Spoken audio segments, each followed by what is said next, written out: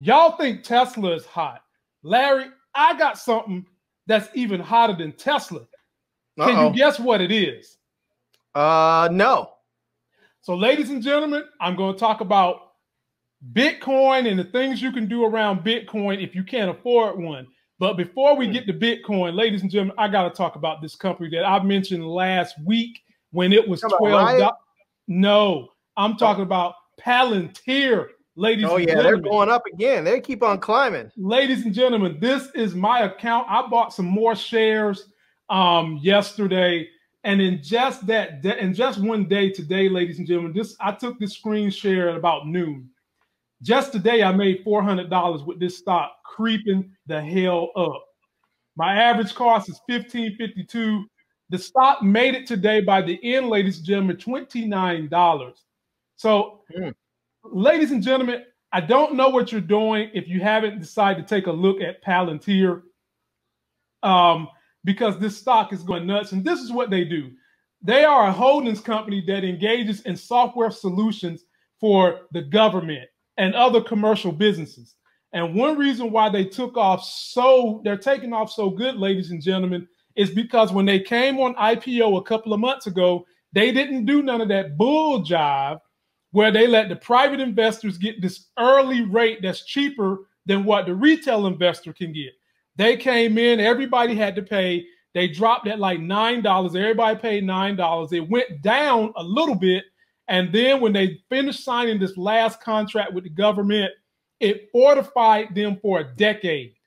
A decade and they don't even like the they're not even fans with the Trump administration. They're more in line with Biden and people who are kind of centrist and lean left. So Larry, well, they signed that contract under the under the Obama administration, and they just signed another one under the Trump administration, and that's why I said they they are kind of moderate to left leaning, but they still got another contract under the Trump administration that they signed two weeks ago. Oh wow! What's holding you back, Larry? You, I can easily see this stock right now. It's at $26. Ladies yeah. and gentlemen, when me and Larry make predictions on this channel, they happen.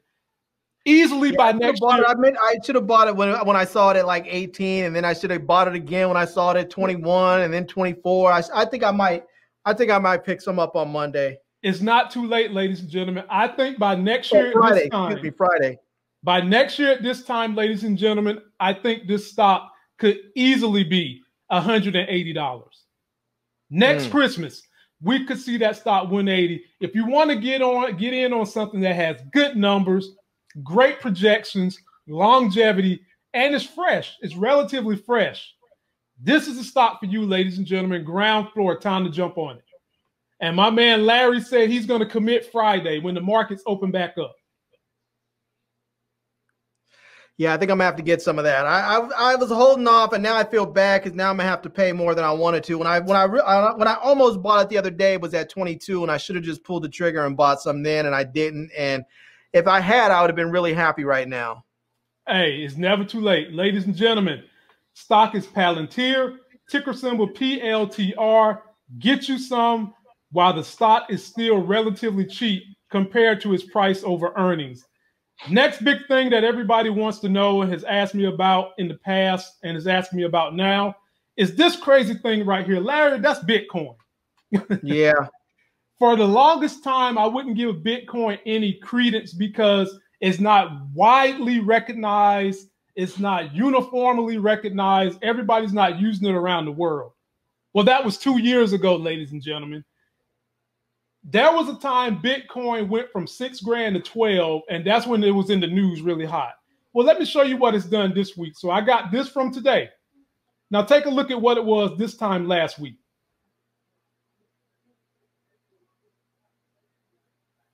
Ladies and gentlemen, mm-hmm. this thing just be it, it just goes bonkers. Last week it gained six thousand dollars. Now you might be mm. saying, what's what's been creating the bump in Bitcoin. Okay.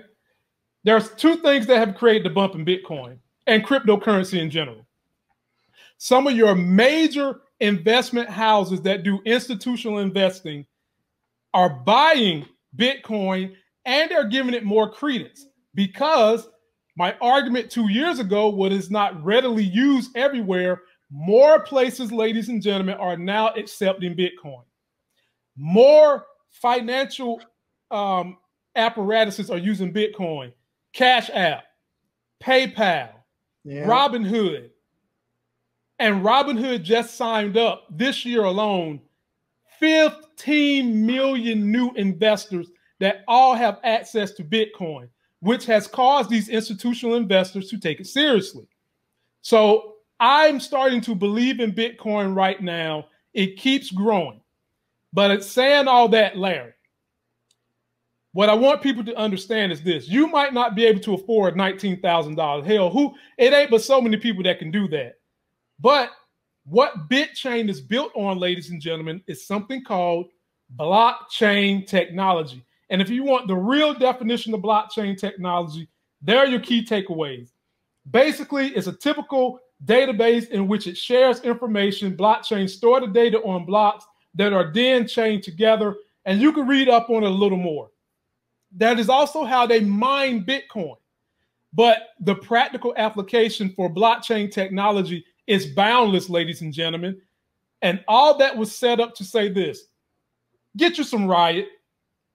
Riot is a blockchain company that not only do they do the blockchain in the cloud, but they also mine cryptocurrencies. And as you can see, they have been going up while cryptos are going up. So if you want to be invested in two ways, you're investing in the growth of cryptocurrency and you're also investing in the growth of blockchain. Get Riot. It's only $7.29. And in the last week, it has gone up um, 20%. And there's no stopping that one either. So now I ask you, Larry, what's holding you back from getting you some Riot? I'll tell you. I, I mean, I may get some Riot. I almost did this. I almost did on uh on what Monday, but I didn't. I, I just the whole crypto thing. I don't understand cryptocurrency. I don't understand Bitcoin. I don't understand the whole thing about mining for Bitcoin. I don't understand the. I don't understand what the what the currency is weighted on. Mm-hmm. I don't get it. I don't understand it, and I don't like to. I don't like to buy stuff and buy into stuff that I don't understand. And every time I try and get people to explain it to me, right. I get people who are very excited about Bitcoin, and they keep on. They go on about it. Oh, it's the future. It's this and that. And I'm saying, okay, I get. I get you're saying that, but you haven't answered my question about what is it? What? Mm-hmm. How is the currency weighted? Like I know that some countries' currency is weighted on the gold standard. If mm-hmm. you have $300 trillion worth of gold, well, when you have your dollar bill, it's a percentage of the gold that that country is holding. If you have a Federal Reserve system like we do, and our money is based on nothing and it's all fiat currency, then I know that it's based on nothing. But but really what our currency is based on is the faith uh, in the currency. That's really what it is. But yeah, I don't understand I don't mm-hmm. understand cryptocurrencies. I don't understand blockchain. I don't understand how it works. I don't understand how, you know, where the money comes from, how it's how it's valued. I don't understand why it goes from 6,000 to 19,000. I don't understand any of it and I've yet to have anybody explain it to me. So until I get a good explanation of what the hell the currency is and what it does and how it's about, what it's about, I'm not touching it. And that may mean that I'm going to lose a lot of money, but I don't trust what I can't understand. Well, so so so before I let me just read this to you. And they're talking about the use of blockchain. In Bitcoin's case, blockchain is used in a decentralized way so that no single person or group has control. Rather, all users collectively retain control. Decentralized blockchains are immutable, which means that the data entered is irreversible for Bitcoin, that means that transactions are permanently recorded and viewable to anyone. So let me put it to you like this. The reason why I picked Riot was because I have a lot of people who feel like you, Larry. And I'm not saying you're old school, but I'm saying a lot of people that follow me are old school investors. And basically, your argument was what I was saying two years ago. And I'm still not saying jump on Bitcoin, yet I'm saying Bitcoin is speculative. But what I right. am saying is practical is the blockchain technology that's not just you don't just use that with Bitcoin. That can be used in science, that can be used in hospitals, that can be used in data centers, that can be used in the cloud. So that's why I say invest in Riot because the risk is very low and the rewards are two pronged. You're also basically investing in the growth of cryptocurrency, but you're primarily investing in the growth of blockchain technology. So that's why I said get Riot. You get the best of both worlds without leveraging too much money. Right. Well, so, I'll think about it and, and see what it's and, and I, I mean I may just grab some shares of, of Riot. I mean I I I just be I don't know man. I just I look at that right there. I, I see they have six employees. Yeah. you know. Yeah. They what's their market but, cap? Three third three hundred something million dollars. I'm like I just well I, I mean know, well I mean you know you would expect you would expect a small cap company well they're not even small they're mid cap you would expect a mid cap or small cap to only have, you know, maybe four or 500 million. I mean, that's standard for small and mid caps. But I'm just saying, you like to take risk on the smaller stocks and their and their growth. There you go. I do, but here's the thing: I like to take I like to take risk on things that I understand. Like I okay. took a risk, bought some. I bought Marathon Oil, right? Right. Because I believe I I think there's going to be a big boom in and some of the traditional energies the sectors that are coming. I think that I mean yes, all the stuff with EV cars and everything is going. I think that's all fantastic. But guess what? The world still runs on oil. It just does. Planes run on oil. Trains for a large part run on oil. You have you have ships run on oil. You have all that stuff where people are still running. And when you have to start shipping around, when you have to start shipping you know, three, six, three or eight, what, how many ever billion doses of a vaccine over the next, you know, over the next, uh, you know, one to, to, to 36 months, that's a lot of oil people are going to need to burn. Mm-hmm. Not only because they're going to have to burn it to get it to where it needs to go, they're going to have to be, have fuel to refrigerate all that stuff. They're going to have people going back to work. I think oil is going to do well over the next, you know, over the next several months to the next couple of years. And so I'm willing to take risk on stuff like that that I understand. Mm-hmm. I don't understand. Like I'm okay with taking a risk. Like if someone tell, like I bought, I bought a company that, I bought a company that makes jet fuel. I'm okay with that. It's I, like I bought it. It's it's taking a little hit. The the stock value has gone down. I bought it just the the absolute wrong time. I'm okay with that. I'm just gonna hold on it and wait because I think it's gonna go back up. But I understand that. I mm-hmm. understand mm-hmm. this company makes this product, they sell it to these types of companies. I get that. I don't understand blockchain. I don't understand crypto. I need to understand it before I'm buying it. Well, ladies and gentlemen, for those of you that want to be risky and you don't understand it, or for those of you like me who understand the blockchain and believe in that more than crypto, Riot is a place for you guys to invest seven dollars a share before you run out here and you get in any of the cryptos and invest, you know, thousands of dollars. Give Riot a try. buy Kandi. If you want to invest in something, buy Kandi. Kandi actually makes a product.